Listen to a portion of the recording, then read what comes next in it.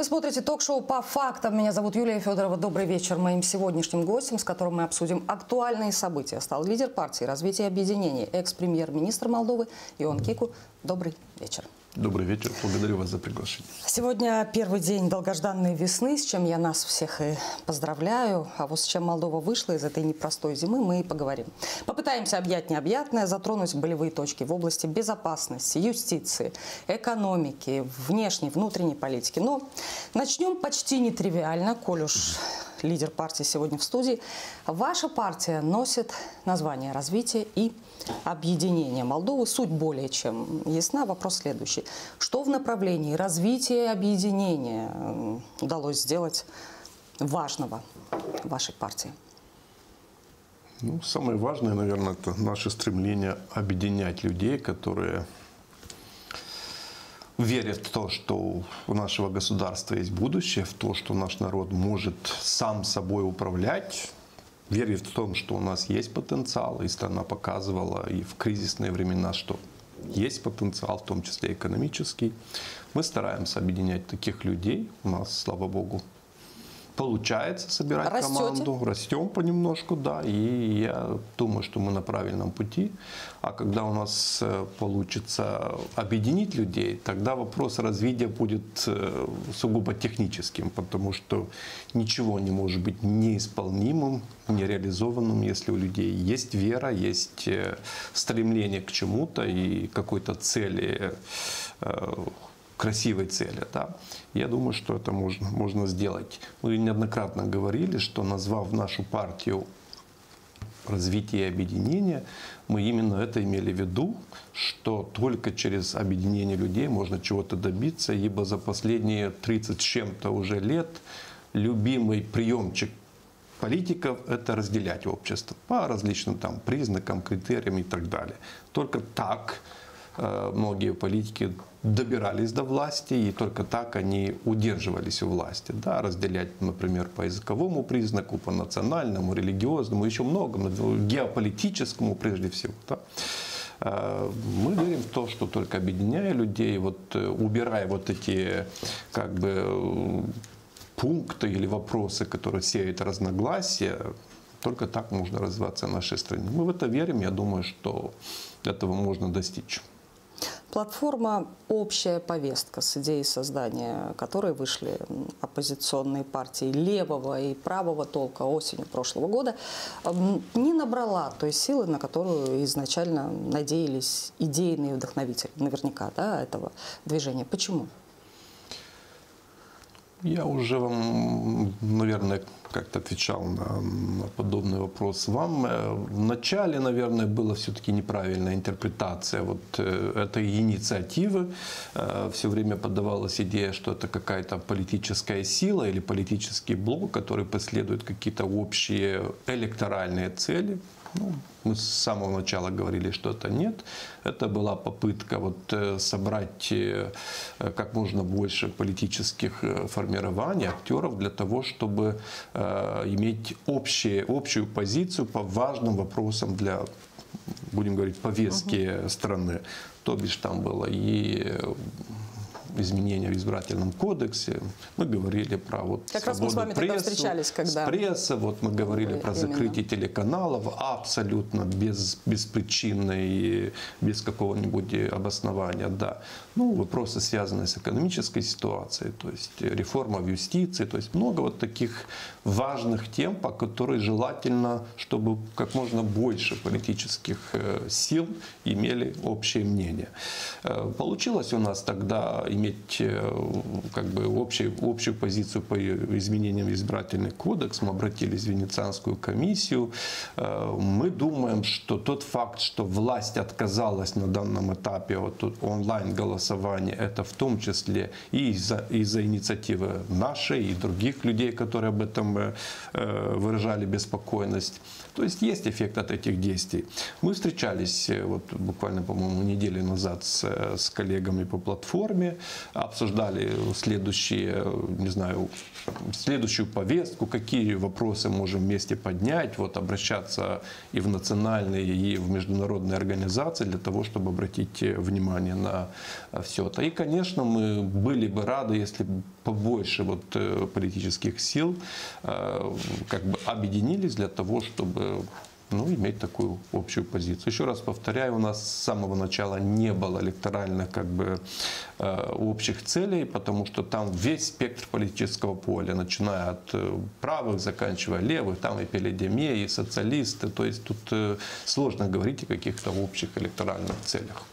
Собственно, и не стоит ожидать ничего взрывного в этом отношении. Нет, в этой Это... части нет. Я думаю, что нам всем нужно объединяться именно по части вот, э, э, выражения общего мнения, общей позиции по таким действиям власти, которые практически разрушают и правовое государство, и, журнал... и свободу прессы, и все.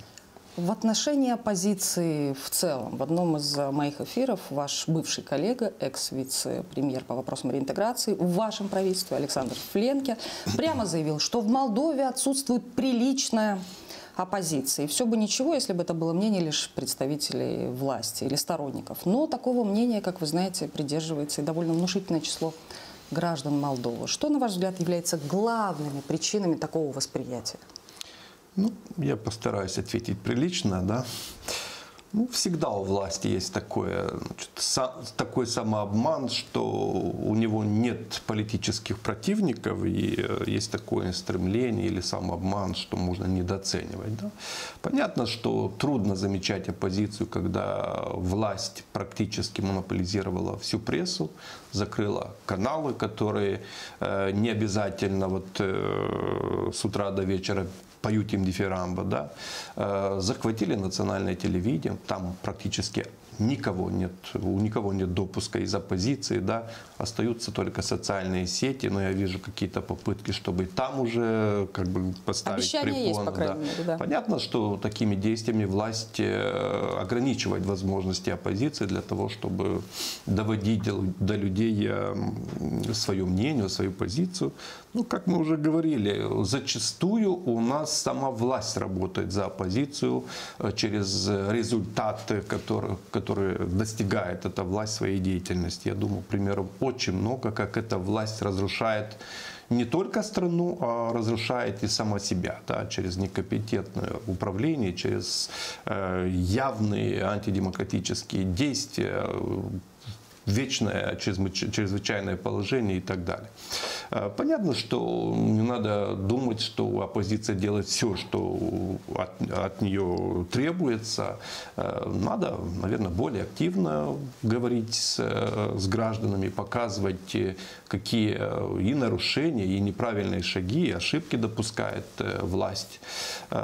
Так что я могу частично согласиться, но выражение неприличное, ну, что сказать. А что значит более активное? Э, общение с гражданами? Ну, более активно есть разные пути. Если нам ограничили абсолютно практически допуск в национальную прессу, угу. да, телевидение и так далее, ну, надо чаще встречаться с людьми э, через собрания, через традиционные такие шаги, объяснять людям, ну, по мере возможности этот, э, эту деятельность нужно просто расширять, объяснять людям, потому что очень многие через эти э, телеканалы, которые финансируются из-за рубежа, которые работают на эту партию, это означает, что эта партия власти финансируется из-за рубежа, то, что у нас запрещено законом. Значит, через эти каналы манипулируют людей, Э, представляет информацию и картинку в, том свете, в котором желает эта власть.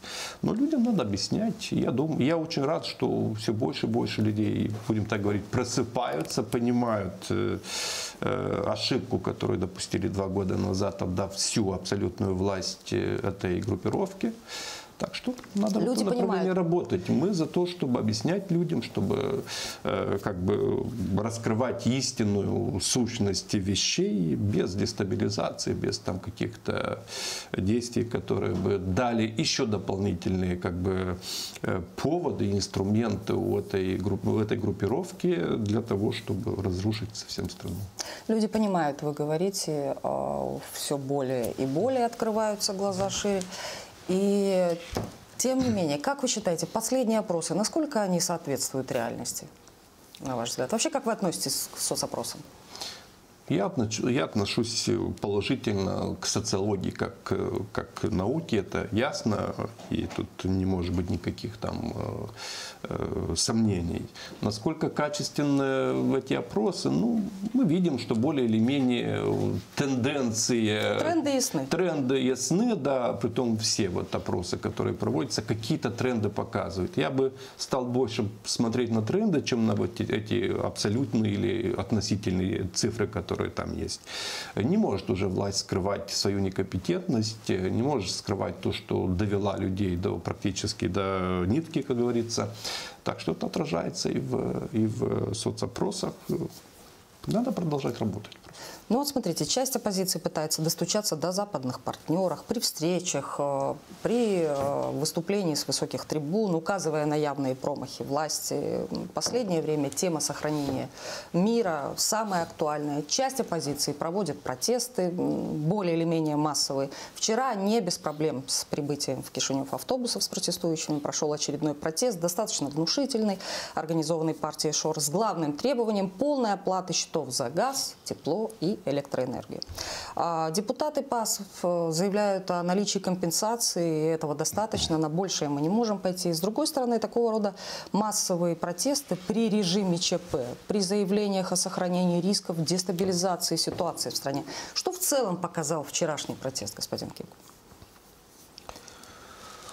Ну, я думаю, что объяснимо мнение и позиция столь многих людей, а вчера было очень много людей, э, по ситуации, по экономической, социальной ситуации, прежде всего по тарифам и ценам, да, у нас э, очень высокие тарифы, и они продолжают расти, хотя мы видим, что цены на тот же природный газ на международных рынках падают. Да? Э, понятно, что у людей есть обоснования для того, чтобы протестовать. С другой стороны, и мы это уже говорили, то, что некоторые политики или организаторы этих протестов с самого начала компрометируют идею протестов через вот такие неосуществимые лозунги «заплатите нам полностью счета. Ну, мы должны быть разумными людьми и понимать, что полностью нигде не оплачивается. И часть депутатов ПАС об этом говорит. Я думаю, что они здесь правы. Мы же не э, Ливия Муаммара Каддафи, который платил за, за все, да, или другая там э, Катар или другие страны, да, которые имеют такую возможность.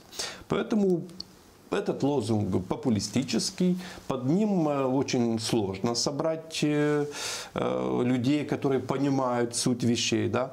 Поэтому вчера вот и эти протесты, которые организуются, люди, наверное, больше вот от безнадежности да, вот выходят, безысходности, да, чем, чем веря в то, что выполнят их, их требования.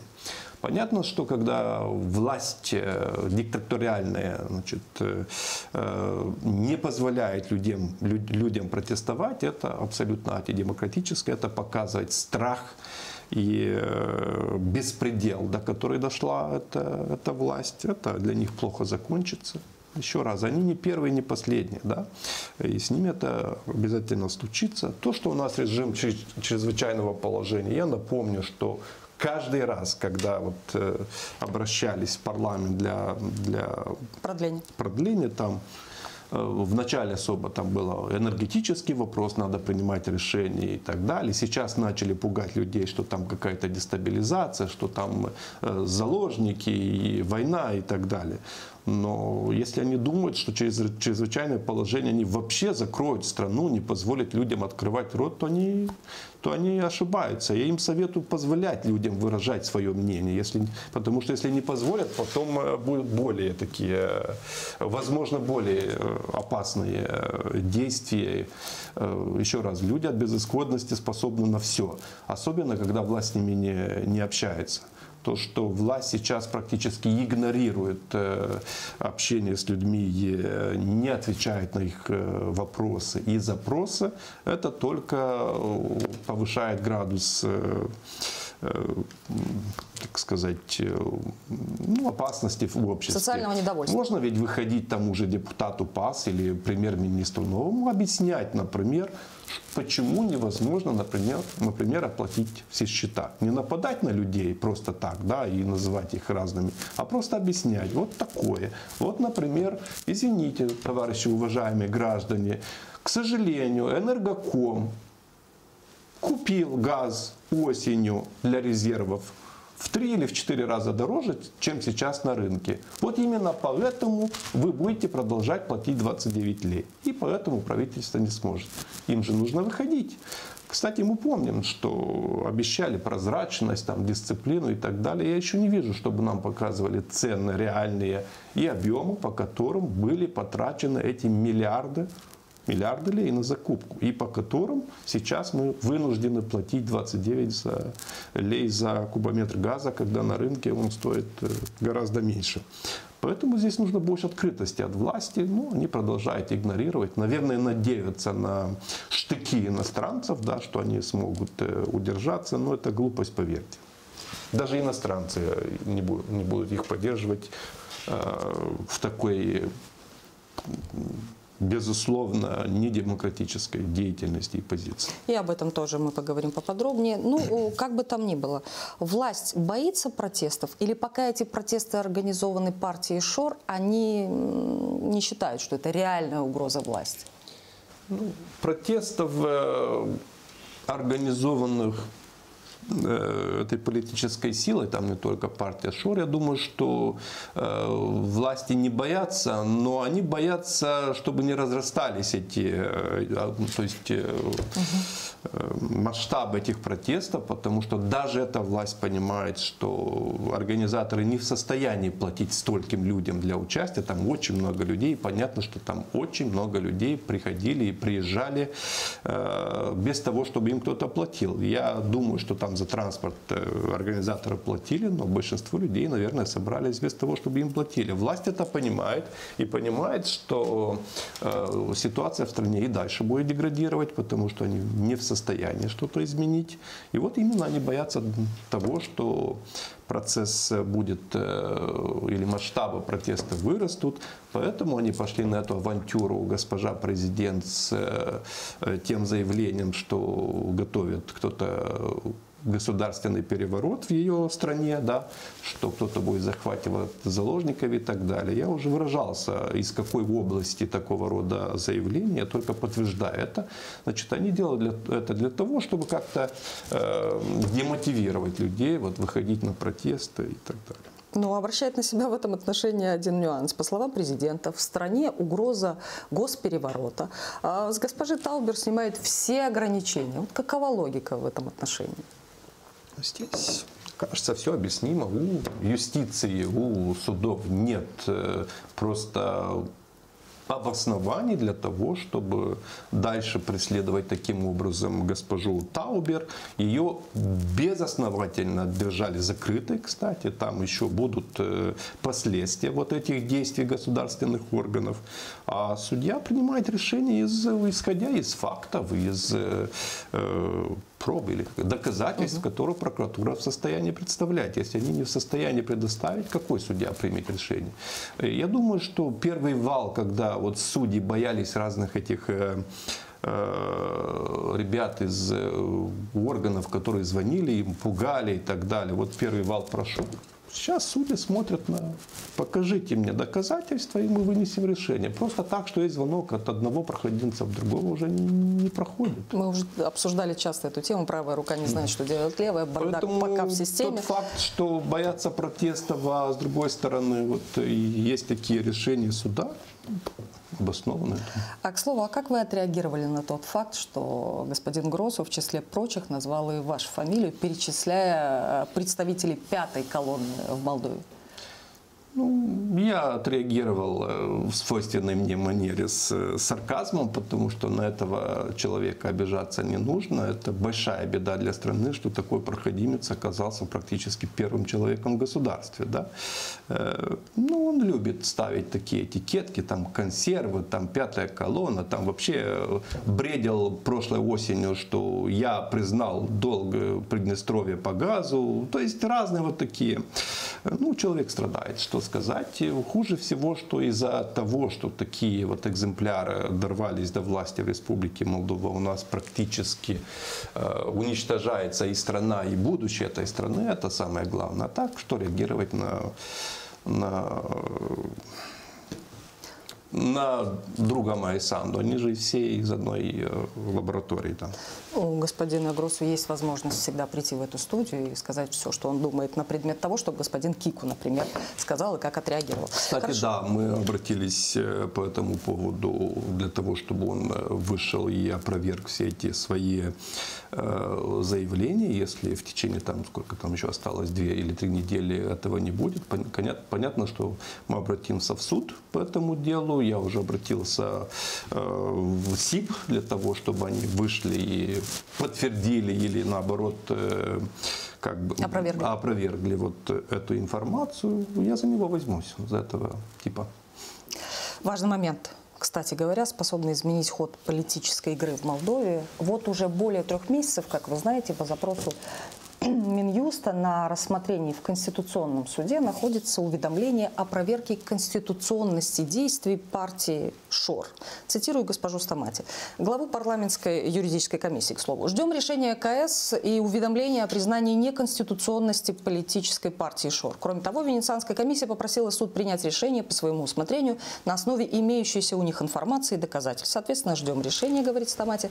Если решение будет запрет, каким может быть дальнейшее развитие событий, господин Кику?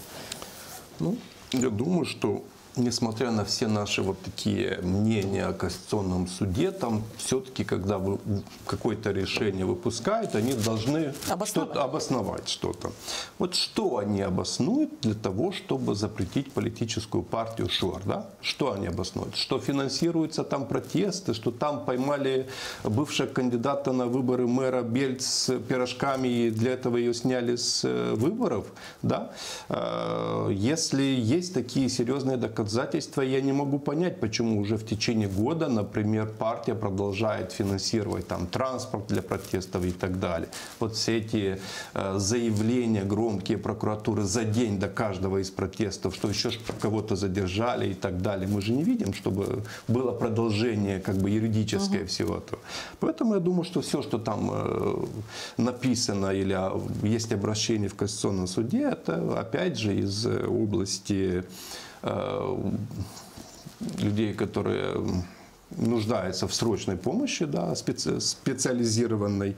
Э, я думаю, что если Конституционный суд примет такое решение на основании вот, э, вот всех этих псевдофакторов, то в, республику, в Республике Молдова будет создан очень опасный прецедент, когда просто, сколько если... опасных прецедентов было ну, создано я, в Республике я, Молдова? Понимаю, и я что? понимаю, но... То есть тут депутаты в парламенте, тут может быть переформатирована система, возможны досрочные выборы. Вообще по-другому может развиваться ситуация. Неадекватные люди всегда думают, что или надеются на то, что их действия останутся без... Но это же не так.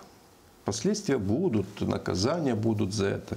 Э, это будет очень серьезным э, решением э, вот, с последствиями, если они примут такое, как бы, примут такое решение о, о запрете политической партии. Общество должно быть Ну а что им может помешать? Что им может помешать? Вот вы говорите, ну, общество сейчас ну, не, не может быть информировано может достойным образом. просто принять решение без, без обоснования. Вы видите все, обос... вот все решения Конституционного суда. Там очень-очень очень много обоснований. Исходя из этого, из этого приводят э, э, национальное законодательство, мнение Венецианской комиссии угу. и так далее. И после всего этого выносится, выносится решение. Да. Просто так, как сняли Таубер с, с выборов, я думаю, не получится на этот раз. Ну. Нет, ну у нас просто были прецеденты. Если бы да. не они, я бы и не задавала вам вопросы. А, хорошо, к судебной системе обратимся, да? Там почти коллапс Я напомню, 20 из 24 судей Высшей судебной палаты подали в отставку. Министр юстиции Вероника Михайлов-Марару признает тот факт, что волна увольнения судей может привести к краху системы. Однако не говорит о том, какие меры будут предприняты во избежание проблем. Тем не менее, призывает судей не игнорировать общее собрание судей, где будет определен новый состав Высшего совета магистратуры. Министр надеется, что совместно им удастся найти пути решения проблемы а, кризиса в, системе. Общее собрание судей пройдет 17 марта. Тогда же будет определен новый состав Высшего совета магистратуры. Его сформируют из числа судей, которые успешно прошли э, комиссию преветинг. Сейчас известно, что из 28 судей, представленных комиссией, проверку смогли пройти только 5. Как будет разрешен кризис судебной системы, вызванный уходом из Высшего совета магистратуры? 20 судей пока непонятно. Министр юстиции уверяет, что не допустит коллапса. Госпожа Стамати заявляет о том, что есть план Б и м, план С. И э, вообще судьи испугались вот этой комиссии, и э, все понятно, вот этот саботаж понятен. Ну, в любом случае, пока действенных решений по выходу из кризиса нет. Господин Кику, что это за бунт? Раз. И что он за собой несет? Два. Ну, это последствия так называемой э, реформы юстиции внешней оценки или приветинга, а потом и ветинга судей и прокуроров. Э, исходим из того, что в 2020 году Греку, вот есть эта организация, La Консилия Европы, да, сказала, что или вынесла как бы э, рекомендацию или мнение, что внешнюю оценку представителей юстиции не нужно проводить так, как оно проводится, потому что это означает прямое вмешательство политической власти вот в эту юстицию. И как бы это не подавалось, все равно это будет иметь как, как конечный результат, это контроль над юстицией. А именно ведь для этого затеивалась реформа, чтобы укрепить независимость этой э, системы. Теперь по самому процессу оценки. Эта власть, конечно, игнорировала все мнения и так далее, и пошло по этой оценке. Началось с того, что они создали эту комиссию оценочную. Да? Там многие входят, и иностранцы, и кто хочешь, но входят и три представителя парламента Республики Молдова, за который, понятно, голосовал ПАС, который ПАС и выдвинула. Выдвиженцы, так сказать. Да, и среди них, например, госпожа Радуканова, да, экс-судья такая очень знакомая, которая э, значит, сейчас э, в Европейском суде по правам человека рассматривается дело по ее решению от 2011 года, когда одному экономическому агенту просто взяли, значит, э, украли бизнес, да, и сейчас там, по-моему, они подали претензии на 135 миллионов евро или долларов, евро, наверное, да. Вот по такому решению, да. Она же является фин, э, спонсором партии ПАС, да. Она же является родственником другого большого спонсора партии ПАС, господина Македона, тот, что нам продает интернет, да, и, и который, кстати, создал структуры, которые следят за людьми, да. Вот такая частная контора, которая следят за, за людьми. Э, в той же комиссии, которую ПАС доверила проверять судей э, Высшего совета магистратуры и прокуроров и так далее, входит какая-то Дуамна Хриптиевич, да, вот, которая является если не членом, то явным сторонником партии ПАС, да, которая э, имеет какого-то родственника, не знаю, отца или там другого родственника, который виновен в каком-то преступлении, да, и вот она будет оценивать судей, которые должны, по-моему, из апелляционной палаты, которые должны вынести вот решение по этой части, да. Вот такая у нас оценочная комиссия, фильтр такой маевский, да. Понятно, что люди, которые работают в этой системе, видя, кто их будет оценивать, у них возникает вопрос. Э, так а нас... судьи кто, да? Да, а судьи-то кто? Через какой фильтр нас пропускает? Неподкупности, там, э, бескоррупности или, например, политический. Является ли данный товарищ политически Лояльным, лояльным и и надежным, как раньше э, говорили. Э, тем более, что люди увидели, как прошел первый этап, так называемый приветинг для кандидатов в Высший совет магистратуры. Люди смотрели, кто прошел через этот фильтр, а кого не, про, не пропустили. Там есть молодые судьи, которые вообще не имеют никаких э, как бы, прецедентов там, э, или хотя бы намеков на коррумпированность, которых эта комиссия просто не пропустила. Там есть молодой судья, э, по-моему, и он Киртака, там Да. э, господин Паниш, там, там Виорика, забыл сейчас фамилию, да, вот они выступали, да. Значит, они она, будучи да, в, э, в отпуске, да, по уходу за ребенком, не подала эту декларацию, да, и вот из-за этого ее просто не пропустили. С другой стороны, пропускают людей, которые являются лояльными. Поэтому у всех судей в том числе э, высшей э, судебной палаты, да, м, да, высшей судебной палаты, да, возникает вопрос, кто нас будет экзаменировать и на какой предмет? И, наверное, они решили таким образом просто уйти из системы, да?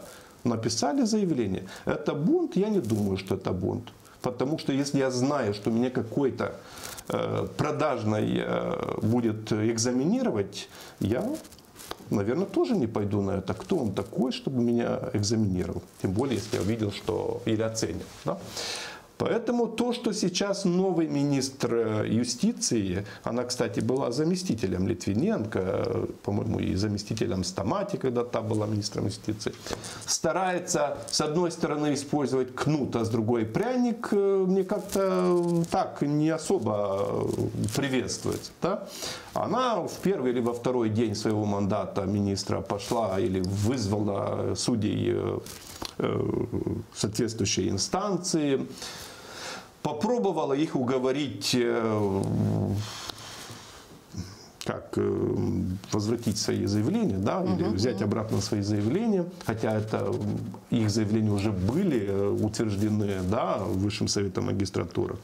Когда те сказали, что в таких условиях они не будут это, этого делать, начали там обещать им существенное повышение зарплаты. Помните, вот в первый день существенное повышение зарплаты. Хотя, кстати, э, по решению Конституционного суда с декабря Мы 22 помним, как года, обсуждалось существенное повышение зарплаты судьям, когда это делал Плохотнюк. ну да, вот Это в ничто декабре, не ново под луной. Ну, я хочу сказать, что на самом деле это такой так называемый пряник или обещание, это на самом деле является обязательством правительства, потому что в декабре прошлого года Конституционный суд вынес решение, по которой государство или правительство обязано каждый год индексировать зарплату вот судьям, по крайней мере, на уровне инфляции. Да? Вот.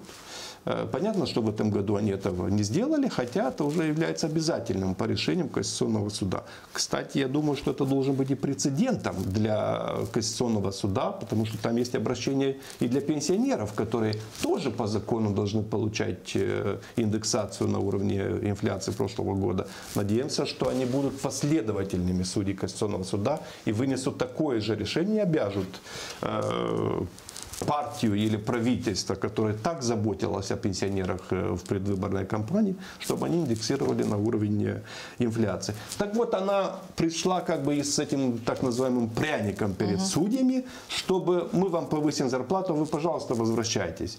Когда те сказали, речь не идет о деньгах, речь идет о у этой комиссии, которая не соответствует э, объявленным целям и так далее, начали их пугать. Там есть одна советница, которая сейчас, вчера или позавчера стала советницей Майи Санду уже по юстиции. Да? Вот она там все это как бы Э, Ну, не получается у них вернуть этих судей, потому что пока не изменится подход к этой оценке, когда-то, пока там не будут объективные люди, пока там не уберут этих э, э, представителей ПАС, которые попали в эту комиссию, понятно, что там нормальные люди просто не пойдут.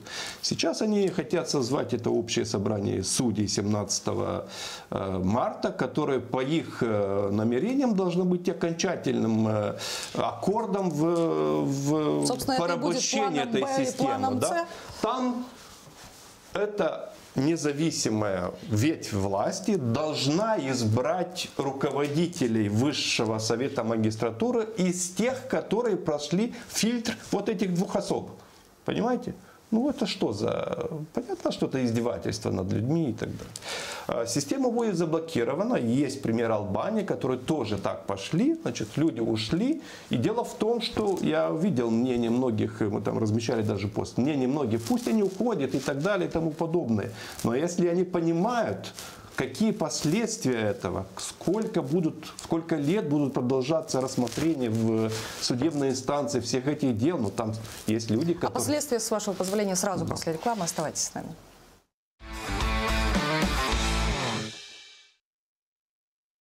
Мы снова в студии продолжаем разговор о том, что за собой несет кризис судебной системы, господин.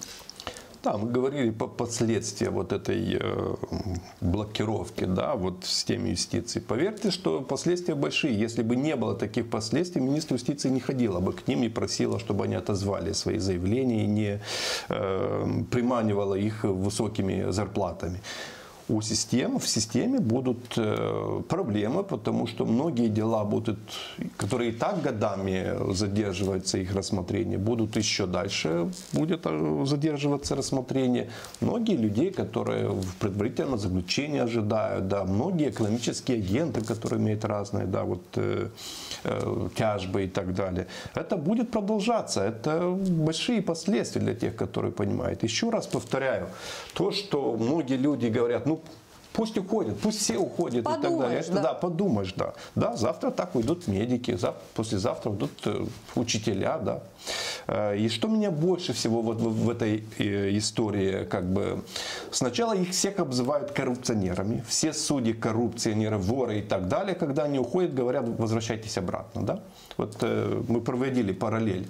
В декабре 2020 года Майя Санду извините, кричала на, в этой площади, что правительство, воры и так далее, уходите. Как, мы, как только было объявлено об отставке, начала говорить по-другому, оставайтесь, почему вы покидаете. Вот точно так же, воры в, в, этом, в э, судах, судьи воры, как только они уходят, начинают говорить, что они саботируют. Да? Вот такая у нас э, такое отсутствие логики.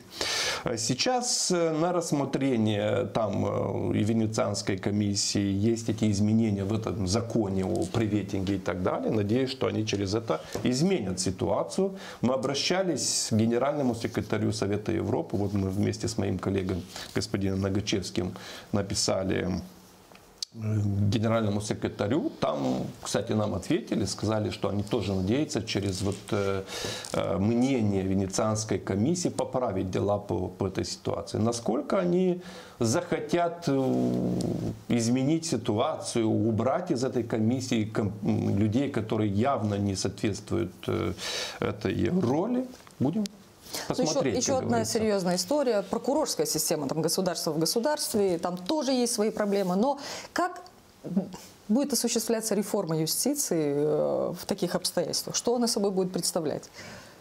Нам объявляли, что делают реформу для того, чтобы повысить независимость и неподкупность системы. Через эти фильтры, так называемые, как раз наоборот делается. Мы видим коррумпированных людей, которые оценивают судей, прокуроров и так далее. То есть они, наоборот, хотят подчинить еще больше э, юридическую систему. А возвращение в прокуратуру одиозных э, прокуроров? Ну, я думаю, что здесь точно так же, если принимаются через суды такое, так, такие решения, наверное, обосновательная или доказательная база того, что их убрали когда-то, страдает э, по фактологии, будем говорить. Ну, я не хочу говорить, что одно решение правильное, другое неправильное, потому что раз судьи приняли такое решение, я бы не сказал, что они правы или неправы. Видим такое вот э, желание крови, да, будем так говорить, от общего. Пусть того посадят, пусть того все воры и так далее. Ну, завтра они про Майю Санду будут так говорить, да. Есть желание, да, которое на уровне инстинктов, наверное, и которое было создано через манипуляции той же Майи Санду, потому что у нее кругом коррупция, да, воры и так далее. А есть и юстиция. Мы хотим или не хотим, должны следовать э, тому, что есть. Есть доказательства? Хорошо. Нет доказательств? Вы можете много, много говорить. А когда госпожа Санду объявляет для того, чтобы э, сохранить уровень народной поддержки реформы, судьи должны принимать решения, которые это как бы, или общество требует, иначе они не пройдут при рейтинг, кстати, это тоже факт, один из фактов, О, почему этот прецедент шли, мы да? обсуждали То с есть юристами, да. Открытым текстом руководитель политической власти в стране, президент выходит и говорит, уважаемые судьи, если вы не будете принимать решения те, которые ожидает народ, или которые я бы, я создала как ожидание народа, вы не пройдете при рейтинг. Какой нормальный судья останется после этого? Да?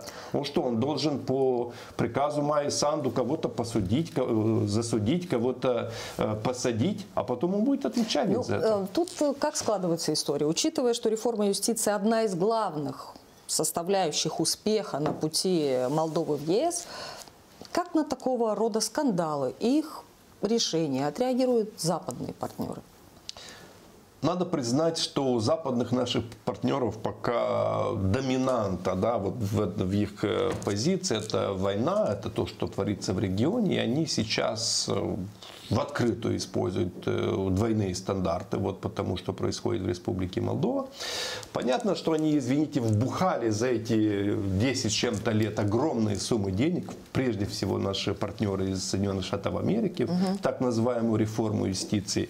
И они вынуждены держать эту, эту тему так высоко. К тому же это хороший инструмент для того, чтобы, э, как, как в случае Румынии, например, обезглавить, например, э, э, местную власть да, или местных лидеров и так далее. Вот выращивается плеяда таких сарасистов, которые вот на, на волне борьбы с коррупцией вот их поднимают, а других просто обезглавливают. Так произошло в Румынии с этим Деня. Да? И при том они даже не хотят слушать о том, что после двух лет абсолютного правления этой власти доходы государственного бюджета, да, не повысились, а даже снизились, если смотреть по реальной стоимости. Хотя мы так понимаем, что когда речь идет о коррупции, прежде всего, деньги уходят из бюджета государства. Деньги там не выросли. Уровень благосостояния народа, я думаю, каждый адекватный человек скажет, что он намного упал. Да? Какие еще у нас последствия коррупции? Да?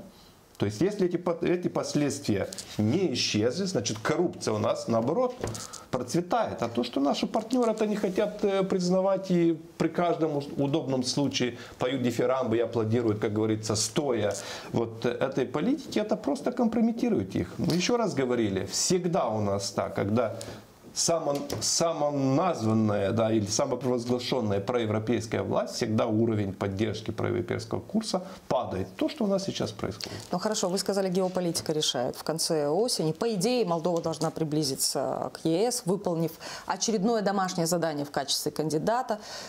Ваши прогнозы по возможности справиться с поставленными задачами э, нового, Кабми- нового старого Кабмина во главе с Дарином Речаном? Ну, не секрет, что несмотря, опять же, на овации, которые бывший премьер-министр получила в, в рамках своего последнего визита в Брюсселе, все отмечают, в отчетах написано, что наша страна является аутсайдером из этих трех стран, да, э, Украина, Украина, Грузия, Молдова. Грузия и Молдова, по части выполнения принятых на себя обязательств, прежде всего по изменению законодательной базы. Да? Значит, это пр- прошлое правительство практически ничего не сделано из того, что нужно было сделать в прошлом году. Поэтому в том числе и убрали. Ну, я надеюсь, что новое правительство, хотя оно старое, но руководитель новый, э, как бы обратить на это внимание и помимо вот этих реляций э, триумфальных будет заниматься и работой. Там уйма работы. Э, И мы видим, что у нас практически парламент бездействует из-за того, что правительство не, не подготавливает законопроекты. Я не знаю, сколько в феврале э, заседал, сколько раз заседал парламент. Если убрать заседание, когда они назна- назначали э, правительство, по-моему, там было одно заседание. Да? Ну, сказано же было четко, что дай бог раз в две недели Ну мы по вот. территории имеем. В конце концов, скоро местные Да. выборы. Это о Надо же чем заниматься говорит? делами, а не заседать Это говорит о том, что у парламента нет работы. Ведь основным будем так говорить, автором, производителем законопроектов и сырья для работы парламента это правительство. Ну, надеюсь, что новое правительство там э, вынесет уроки и по крайней части по, по тому, что называется повестка евроинтеграции, они будут э, двигаться веселее. Тем более, что там, по крайней мере, видел какие-то изменения в составе, которые подают такие надежды. Я думаю, что и Министерство энергетики, которое еще не существует, но есть министр, достаточно подготовленный специалист, и моя коллега из Министерства финансов, с которой я работал, э, госпожа Вероника Врагалева, э, забыл фамилию, извините, да, Сирицану, извините, да, э, они подготовленные специалисты, если эти проходимцы из ПАС не будут им мешать работать, то они как бы... То есть у вас надежды есть, и вы с оптимизмом ну, по крайней части, да? по этой области я очень надеюсь, что вот э, им позволят работать, и такие проходимцы, которые э, работают в парламенте, не будут им мешать. Но я, я боюсь, что это, к сожалению, так и будет. Вопрос безопасности стоит очень и очень остро. Тема Приднестровья заиграла тревожными красками, если уместно так выразиться. Трудно было себе представить подобные сценарии до 24 февраля прошлого года, но констатируем. Все чаще Украина заявляет о возможности силового сценария в отношении а, Приднестровья. Вопрос только за а, просьбой Кишинева. Подтверждается факт стягивания войск, вооружений э, к украинской приднестровской границе, что не может не вызывать панику или тревогу, по крайней мере. В то же время Кишинев заявляет исключительно о мирном а, разрешении приднестровского урегулирования конфликта. Вопрос, что реально может побудить Украину совершить этот шаг? Как следует именно сейчас отреагировать молдавским властям, дабы снять напряжение? Если смотреть трезво на вещи, понятно, что Украина, как воюющая сторона, была бы заинтересована сейчас, чтобы как можно больше вот других стран э, вовлечь. вовлечь, потому что это, опять же, повышает и уровень внимания, и поддержки из-за рубежа и так далее. Видел э, заявление премьер-министра Грузии, по-моему, в начале февраля. Он говорил открыто про второй фронт, что его страну, как и нас, стараются втягивать в это, но мы не допустим. Теперь по реальности. Понятно, что э, Украина не начнет э, какие-то действия против э, одного из регионов Республики Молдова, да, Приднестровья, без официального разрешения или позволения властей, наших властей, да, угу. То есть и главнокомандующего нашего, да, потому что если этого не будет, они сунутся туда, это будет просто агрессия против независимого государства. Я думаю, что они на это не могут пойти, поэтому мы надеемся, что госпожи Санду если она поскребет по сусекам и найдут, найдет остатки э, разума, э, она не пойдет на такую провокацию, чтобы вот э, позволить или разрешить вот третьей стране вмешиваться вот военным путем на нашу территорию. Я хочу отметить, наверное, очень хорошую позицию Румынии по этой части. Мы знаем, что они выступают категорически против вот такого действия провокаций и авантюр. Ну, насчет других партнеров еще нужно знать, что они делают и как делают. Поэтому считаю, что Украина туда не сунется без э, официального как бы а что бы э, поспособствовало закрытию вот раз и навсегда этой темы, снятию этого вопроса силовой акции в отношении, э, ну, со стороны Украины в отношении Приднестровья? Я не говорю сейчас глобально о завершении войны как таковой. Ну, слушая доводы некоторых украинских официальных лиц э, и какой-то мере с ними можно согласиться. Да, на этой территории Республики Молдова находится часть российской армии. Они воюют с российской армией, только они могут говорить, что там есть какая-то опасность, там существуют какие-то риски и так далее. Но пусть они себе там на своей территории роют траншеи, готовятся и так далее, но без того, чтобы как бы Молдова нападать на нас. Я гарантии. уверен, и каждый здравомыслящий человек понимает, что никто из Приднестровья не будет сейчас атаковать или что-то делать по части Украины, да, вовлечения в войну. Э, поэтому... Молдова должна потребовать гарантии безопасности официально от Украины, от России? Ну, Почему мы должны требовать гарантии безопасности, если мы страна, член ООН, у нас все есть права, международные права и так далее, нейтральная страна. То есть любое посягательство на этот статус и на, на мир в Республике Молдова будет называться просто агрессией, и независимо, кто это сделает. А как должны реагировать официальные власти на такого рода заявления? Вы знаете об очередях на границе с Румынией? Молдаване бегут. Многие Ну, Официальные боятся. власти, по-моему, говорят, что все будет мирным путем. Я склонен им, им верить. Другое дело, что они используют украинский фактор для того, чтобы вот сеять панику в Республике Молдова. На, наши, А какова логика? наши- Зачем нам эта паника нужна Наши в такое неспокойное время? Ну, для чего-то. Паника ясно для чего. Чтобы мы с вами говорили сейчас о войне, а не говорили о том, почему подняли вчера или сегодня тариф на теплоэнергию в 700 лей, когда цены на газ упали в 6 раз. Ну, э, давайте, давайте по части, да? теме Для того, чтобы пе- переместить Акценты. внимание общества от э, катастроф э, по части э, социально-экономических э, экономической ситуации, они все время нас пугают. да.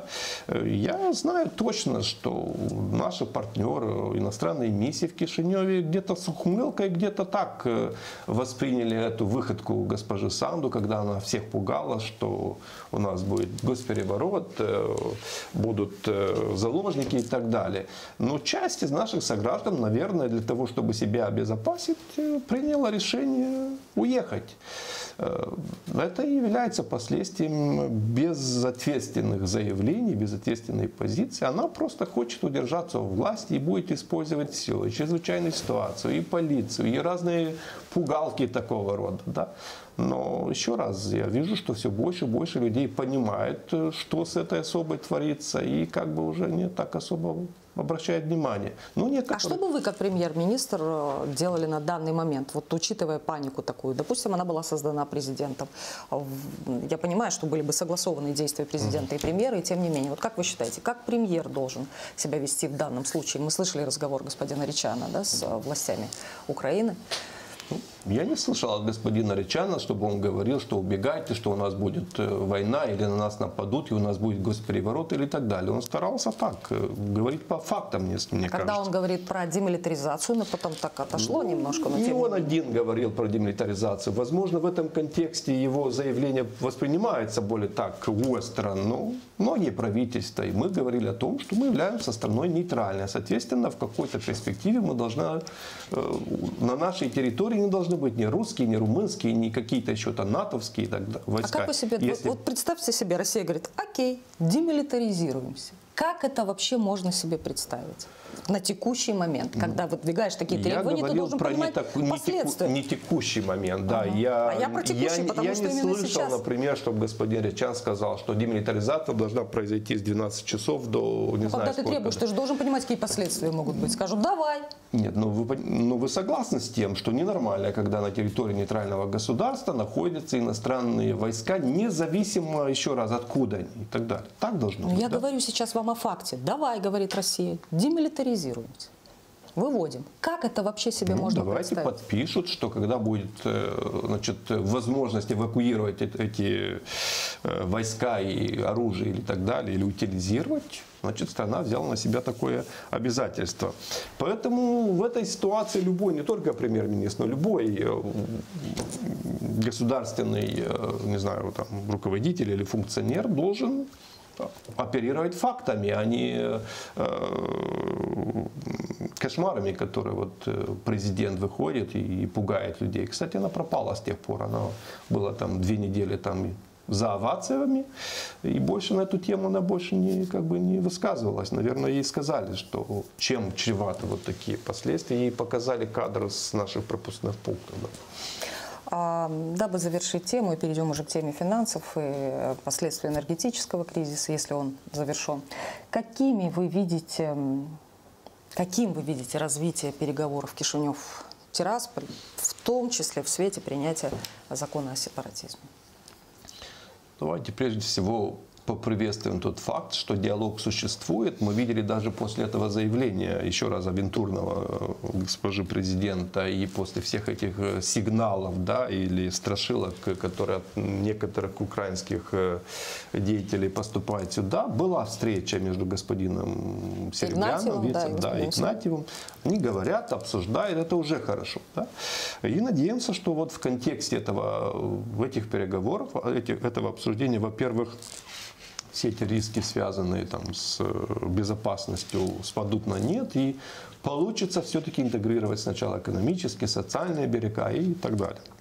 То есть та же тактика малых Насколько шагов? закон опять эта авантюра да, вот э, этой власти по сепаратизму э, может влиять на, на этот процесс? Конечно, он может влиять, потому что по этому закону практически любой человек с левого э, берега Днестра, который имеет какие-то там э, э, обязательства или в силу своей работы, он все под, подпадает под этот закон. Да? Любое там заявление, которое там высказано, это сразу попадает под э, закон. Но с другой стороны, я понимаю, что Тирасполь понимает, сколько чего стоят вот все эти, все эти авантюры, все эти заявления. Сначала принимает закон, потом отправляет Венецианскую комиссию, потом подставляет своих партнеров из Совета Европы и так далее. Господин Сумасшедший Кико, дом. А, а как коррелируют наши закупки электроэнергии на левом берегу Днестра и законы сепаратизма? Ну, это, кстати, тоже часть по закупке э, электроэнергии или, например, э, опять решение этой чрезвычайной комиссии, которая делает э, деругари, да, вот от закона по окружающей среде и выдает лицензию металлургическому заводу. Это то же самое. Это все будет, как говорится, в том же деле, в той же папке, да, Не, ну, зашито, у, да. У если... граждан когнитивный диссонанс. Раз вы говорите А, ну, говорите Б, говорю, как, что люди, уже, люди уже уже поняли, какой сумасшедший дом у этой партии и что они делают. Понимаете? То есть не знает левая рука, что делает правая, как говорится. Ну, давайте поговорим о разрешении энергетического кризиса, если таковой имеется, и последствия. Начнем с болезненной темы газа. Мы уже говорили о том, что на текущий момент на рынке цена на газ снизилась, однако мы продолжаем платить 29 леев по тарифу. Да?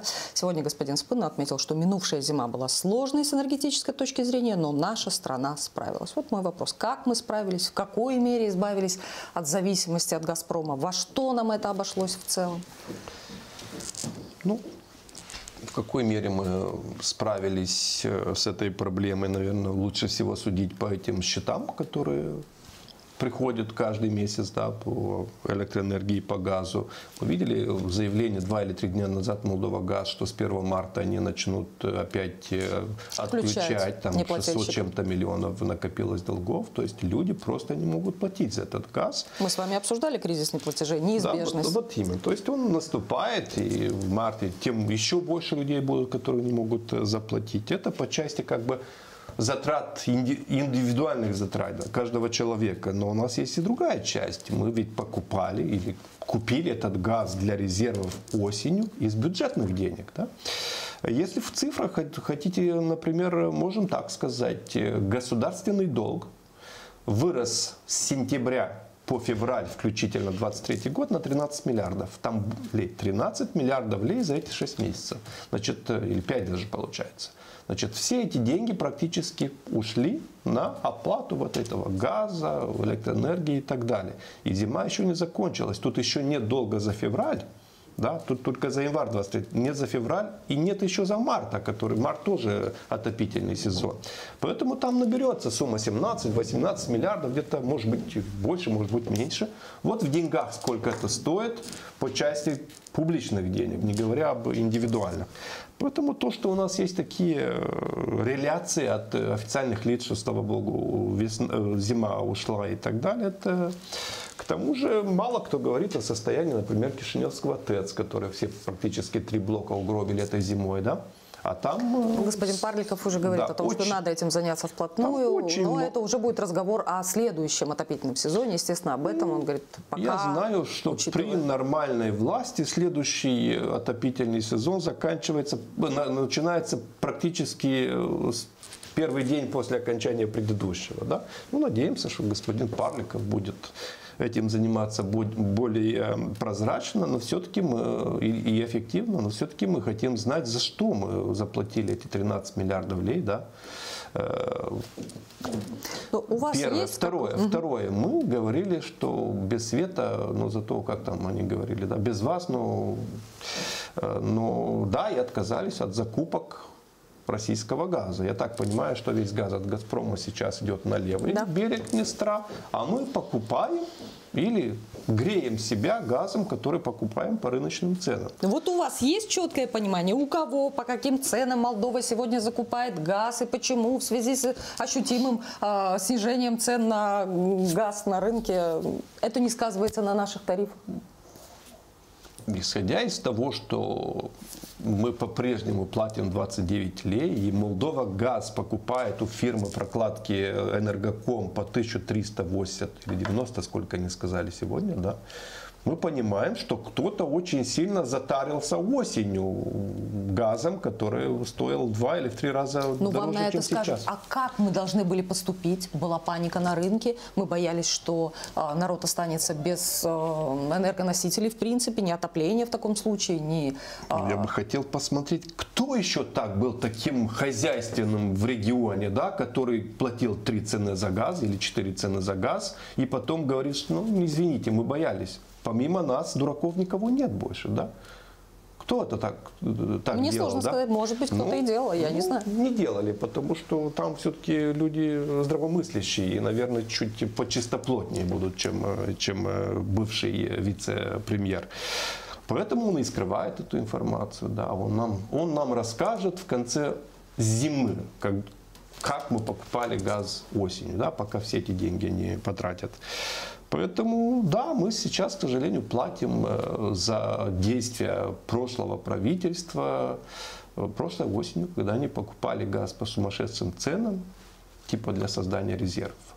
Хорошо, каким вы видите развитие газовой темы Молдовы? Правительство США вот планирует поддержать Молдову в ее усилиях по снижению зависимости от российской энергии новым пакетом энергетической помощи на 300 миллионов долларов. И это не последняя помощь. Но тем не менее, Мы благодарны, конечно, нашим партнерам за то, что они нам помогают, но я думаю, что эта помощь не возникла сразу, только сейчас, когда говорят американцы. Нам уже два года говорят о том, что нам помогают все, везде и по-всякому, да? Также нам говорят с телевизора, да, что все помогают. Тем не менее, со всей этой большой помощью люди не в состоянии оплатить счета, потому что компенсации оказались бутафорией да, и обманом. И самое страшное, вот мы, мы, наш госдолг растет миллиардами. В январе 2023 года госдолг вырос на 3,6 миллиарда. Понимаете? Объясните То есть э, нашим вы телезрителям, нам помогаете, что означает вот рост госдолга, как он на нас сказывается? Госдолг это долг каждого из нас. Мы когда-то будем, и сейчас платим, кстати, по, по долгам, будем вынуждены платить через налоги, которые, которые взимает с нас государство. У государства других статей дохода практически, чем налоги, которые собирают со всех нас, э, нету. Да? Если нам кажется, что мы, ну, мы не заплатим то, не заплатим то, потому что я не делаю ни то и не то, это будет все в цене на, на хлеб, на разные продукты, которые мы покупаем, в тех же тарифах и так далее.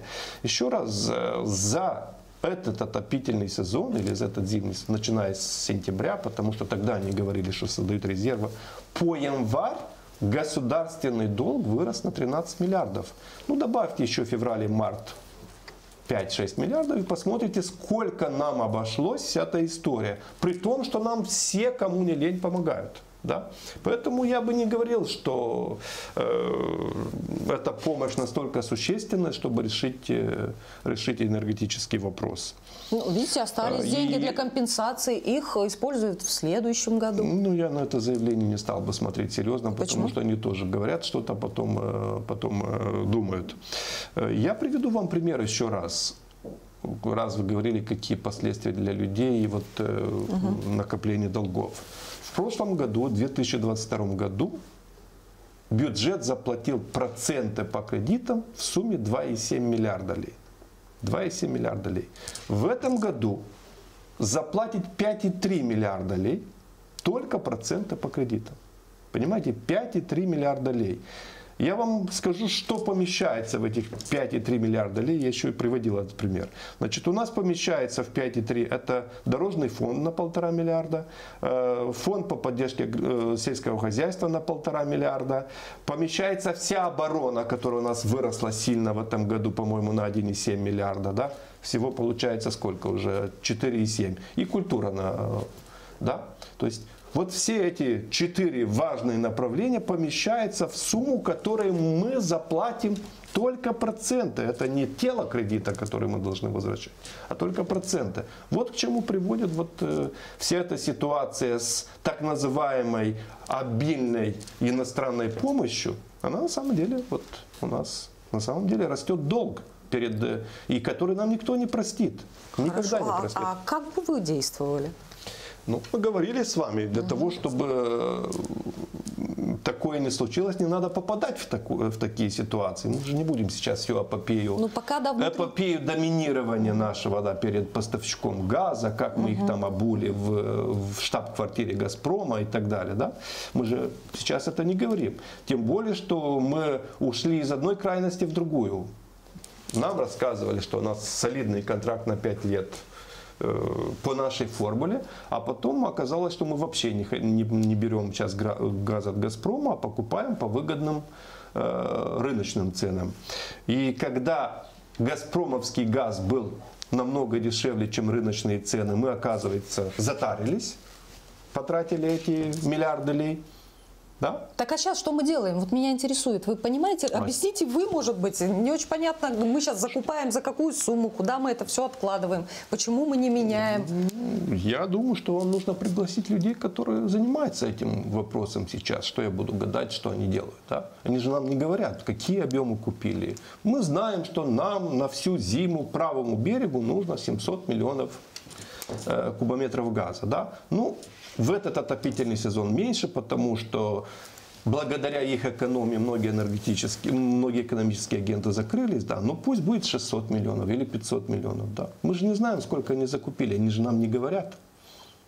Когда в нашу как бы систему попадет дешевый газ, мы не знаем, да, потому что не То есть говорят. никаких прогнозов а по не говорят, развитию газовой темы вы не, не можете сделать. ну, я прогнозы могу сделать, но зачем спекулировать, когда должны быть официальные данные? Пригласите премьер-министра, пригласите нового министра энергетики, он более прозрачный должен быть. Ну, дай бог, чтобы они приходили. А, вопрос, возмутивший граждан. Резко вырос тариф на тепло. В Кишиневе за отопление нужно будет платить 3577 леев за гигакалорию. Решение принято на РЭП по запросу термоэлектрики.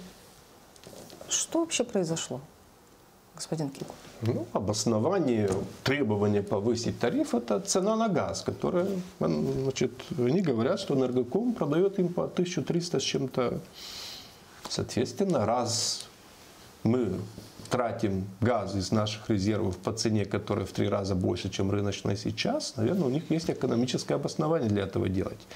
Но тут опять возникает вопрос, а вроде бы этой зимой мы мазутом как бы пользуемся, из этого топлива мы угробили наш ТЭЦ, да, и другие системы и так далее. Причем тут цена на газ, да, если мы э, нет данных, не говорят, да, то есть не показывает, а просто уходить в зону спекуляции я не хочу. Слушайте, ну это же все почва для социального взрыва. И все возмущаются в социальных сетях, на кухнях, э, но не выходят на улицу. Почему все-таки? Куда еще зажимать эти, закручивать гайки? Ну, видимо, наверное, э, есть еще да, у людей терпение и так далее, тем более, что есть еще большая категория людей, которые под- поддерживают эту, эту власть, это видно. Я не, думаю, я не думаю, что они это делают сознательно, скорее всего, тоже из-за боязни войны, там, дестабилизации и так далее. И власть, понимая это, именно поэтому и выходит с такими заявлениями, чтобы держать людей в страхе. Да? Э, Ну, это не будет продолжаться бесконечно. Да. Ну, у нас э, в этом году местные выборы, в следующем году президентские, Поэтому далее говорю, что- парламентские. Ну, мы как-нибудь еще проживем эти э, два года с половиной. Ну, мы говорили много раз, что от местных выборов, от результатов местных выборов будет зависеть и дальнейшая судьба этой центральной власти. Да? Потому что если они проиграют эти выборы, а все основания для этого есть, то мы будем спрашивать, кого они представляют. И здесь будем заниматься плагиатом. То есть то, что они делали в 2020 году, когда Санду выиграла выборы и говорила, что этот парламент больше никого не представляет и так далее, наверное, так и будет. Это же, я еще раз говорю, прецеденты, которые они создавали, будут потом работать под- против них. Э, Будет ясно, что у них больше нет поддержки народа. Вот, вот такого рода протеста надо делать, осознанно голосовать против них. И тогда не, нужно будет ждать два года для того, чтобы убрать эту власть. Мы из этого исходим, поэтому и стараемся объяснять людям.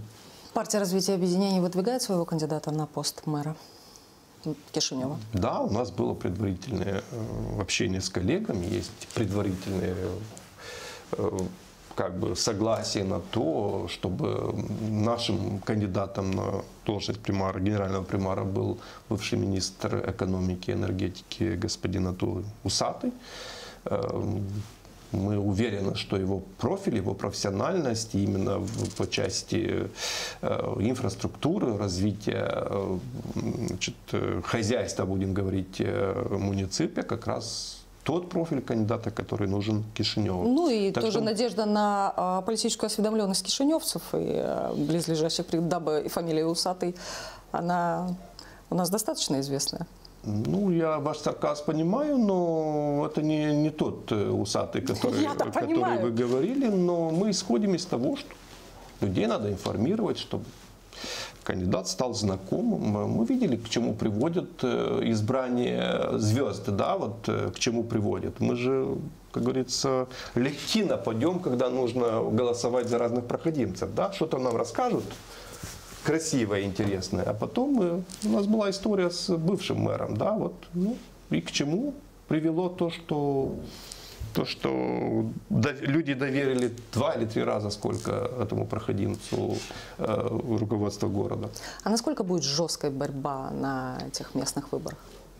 Любая борьба жесткая. Надо понимать, что эта власть, будет, эта власть будет беспредельничать, но если они думают, что мы им позволим делать все, что хотят, то они ошибаются. Ну, на этой ноте мы с вами прощаемся сегодня. Я вас благодарю за эфир и напоминаю нашим телезрителям, что в студии был лидер партии развития объединения, экс-премьер-министр Молдовы Ион Кику. Благодарю вас и благодарю вас за внимание, дамы и господа. До встречи.